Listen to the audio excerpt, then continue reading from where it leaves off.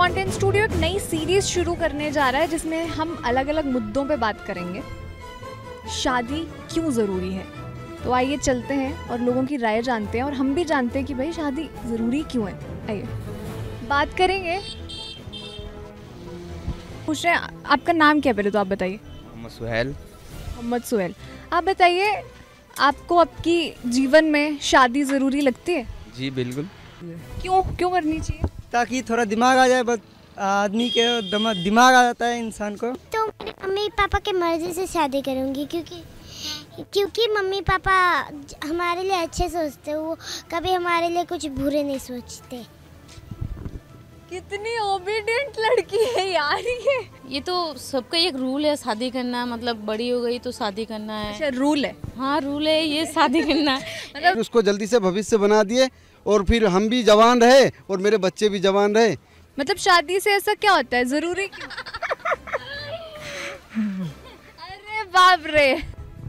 अरे बताइए आपके तो छः में आपको तो अनुभव होगा बिल्कुल छः महीने का कि क्यों ज़रूरी है। कैसे फीलिंग होता है कैसे लगता है बताओ। कौन सी उम्र में की थी शादी आप? मैंने शादी किया था पंद्रह साल में। और शादी के बाद आपकी जीवन कैसे था और पहले कैसे था? देखो, शादी के बाद, अगर शादी कर लेने के बाद तो परिवार को भी देखना होगा। जब जिसका साथ अगर शादी करोगे, उसको तो निभाना पड़ेगा ना। जीवन साथी अपना तो चुनना, जिसको चुने, उसको तो लेके चलना होगा ना। अच्छा वो है वहाँ पे लेडीज़ अगर पापा तो वही तो वही तो लोग तोड़ रहे हैं उस चीज़ को। तो तोड़ रहा है मतलब वो लोग का दूसरी जगह में प्यार व्यार हो जाता है तभी तोड़ता नहीं है। कुछ लोगों का प्यार भी नहीं होता। तो मतलब घर पे झगड़ा होता है हस्बैंड मियाँ बीवी मतलब एक साथ नहीं रह पाता है इसलिए तोड़ देता है। शादी करनी चाहिए। शादी मेरे हिसाब से तो करनी चाहिए क्योंकि हमेशा बंदा तो कवारा रह नहीं सकता और क्यों नहीं रह सकता? सारे वैसे कवारा कैसे रह सकता है सारी ज़िंदगी? बताओ ना क्यों नहीं रह सकता? नहीं रह सकता। उसमें क्यों क्यों नहीं रह सकता? वजह है कुछ? वजह तो वही तो पूछने हम यहाँ पे क्या वजह है? वजह है। वजह ये है जैसे कि मतलब आप जैसे हम जैसे गरीब बंदे हैं तो किसी के पास दहेज की वजह से किसी का शादी नहीं होती है। बहुत सारे ऐसे होते हैं कि मतलब किसी का दहेज मतलब दहेज वगैरह के लिए शादी नहीं होते हैं। के लिए है ज़रूरी। हंड्रेड परसेंट श्योर है शादी करना ज़रूरी है। बिल्कुल। शुक्रिया। खाना पीना बच्चा को देखना। वो ज़रूरी नहीं है। डिफरेंट करता है कि हम कितना कमा रहे हैं हम बच्चे भी बच्चों को कैसे पाल सकते हैं? अगर बच्चों को पढ़ाना लिखाना वो सब ज़रूरी है खाली होती है ना जब बच्चे को क्या नाम है आपका? रोबिन है मेरा नाम। रॉबिन? आपका नाम तो बहुत अच्छा रॉक स्टार रॉबिन। अगर आपकी बेटी कल को बोलेगी कि मुझे तो ये लड़का पसंद है और मुझे इससे शादी करनी है तो आप क्या बोलोगे? क्या बोलेंगे? आप करने दोगे इससे शादी उसकी देखेंगे पहले अच्छा होगा तो कराएँगे। वो तो इतना दिन हम लोग नहीं रखते हैं लड़की को शादी नहीं रखते हैं। वही तो मुद्दा है क्यों नहीं रखते हैं? उसको अगर रहना है तो क्यों नहीं रहने देते आगे तो आप कर रहे हैं। और जो माँ बन गई वो उसी को ज़रूरी है। बच्चों पालना कमा के खिलाना। आप बोल दीजिए नहीं करनी चाहिए। आप इतनी दुखी लग रही हैं बोल दीजिए। क्या करोगी बोल के? औरत का तो मजबूरी शादी से ही है। और अरे क्या? अरे आप तो इमोशनल कर रहे हैं हमको। पति का कुछ मजबूरी को ज़रूरी नहीं है। आप पति पत्नी हो। हाँ। रुपये देता नहीं। बच्चे का कपड़ा चुपड़ा जो पढ़ा लिखा करना सब सब कुछ मैं करती। कौन सा स्कूल में डालना क्या करना सब मेरा। नहीं देखो वो आपको भी करना पड़ेगा वो आपको भी वो करना अपना पड़ेगा। कमाता है अपना पे, पेट पालता और दारू गांजा में खत्म कर देता। अपना भी तो कुछ जोड़ कर रखना बच्चे के लिए भविष्य के लिए। ये, ये जो कह रहा है ना ये बिल्कुल सही कह रहा है। क्यों?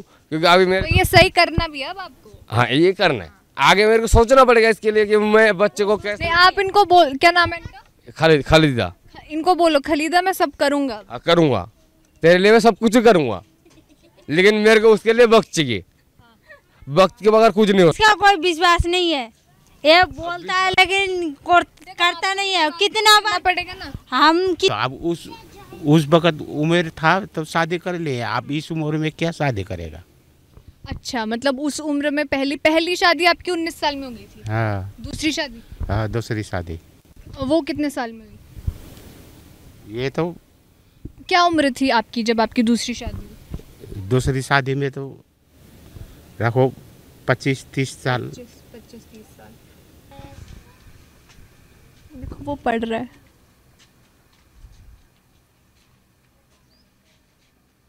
तब मरने पर शादी करेंगे। जब मर जाएँगे।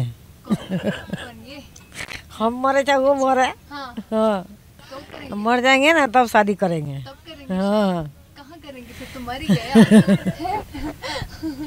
शमशान में। शमशान में करेंगे शादी। अच्छा मुझे ये बताओ आप कितने साल के हो?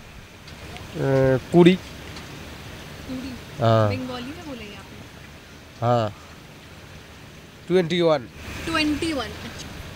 हम तो शादी नहीं करना चाहती है। आपकी शादी नहीं हुई अभी? ना। नहीं करना चाहते? ना। क्यों? और अगर गलती से आप तुमको पसंद आ गया कोई शादी के लिए तो तुम और मम्मी पापा ने मना कर दिया तो? मना कर दिया तो कोई बात नहीं कि मम्मी पापा जिससे शादी कराएँगे उससे ही कर सकते हैं। मजबूरी है।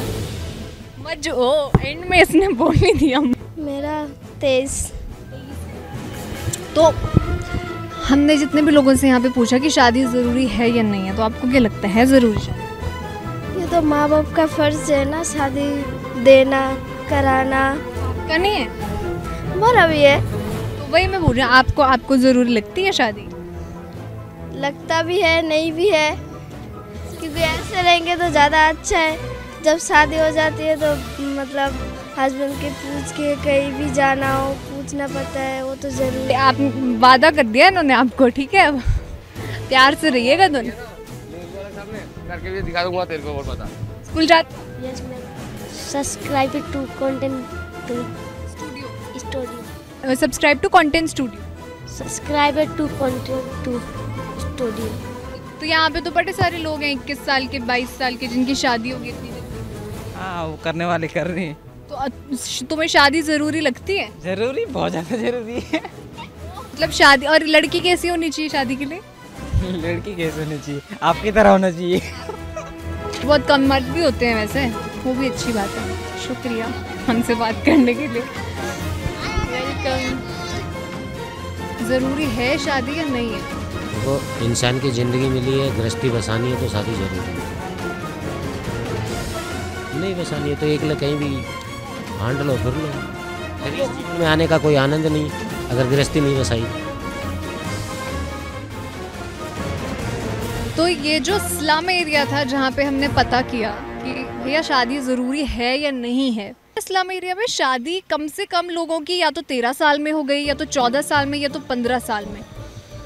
हम इसको थोड़ा फन वे में बनाने आए थे, लेकिन ये सैड रियलिटी भी देखी कि बहुत लोग ऐसे वाले स्लम्स एरिया में रहते हैं और जिनकी कंडीशन ऐसी है और जिनका माइंडसेट एंड आइडियोलॉजी काफ़ी काफ़ी अलग है।